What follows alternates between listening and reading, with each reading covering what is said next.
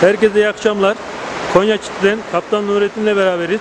Güzel maçtı, çekişmeli maçtı ve kazanmasını bildiniz. Yorumlarınızı alalım. Ee, öncelikle iyi akşamlar. Ee, Konya Gençler Birliği takımını tebrik ederim.